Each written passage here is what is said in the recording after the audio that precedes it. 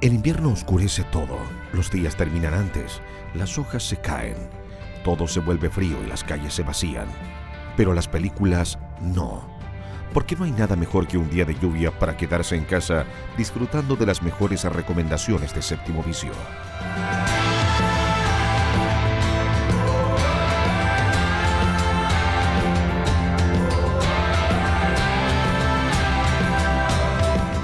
De lunes a viernes, los mejores documentales, películas y cortometrajes para tus fríos días de invierno.